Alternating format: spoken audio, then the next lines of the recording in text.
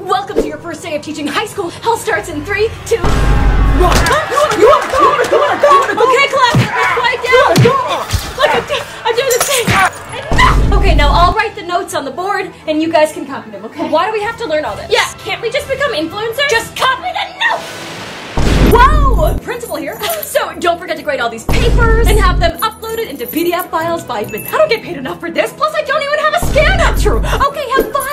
use the CamScanner. Cam scanner. What's that? Oh, it's an app that scans paper documents and converts them into PDF files right from your phone. So can I also use it to highlight and annotate my lesson plans? Yep. So can we also use it to like organize our notes? Heck yeah, just use the smudge tool. Problem solved. All I have to do is take a picture and then it's converted into a PDF that I can edit. Yeah, it's that easy. Amazing. So wait, where can I get it? You can download it right from the App Store or just visit the link in the bio. Easy enough. Now I might actually make it to summer vacation in time this year.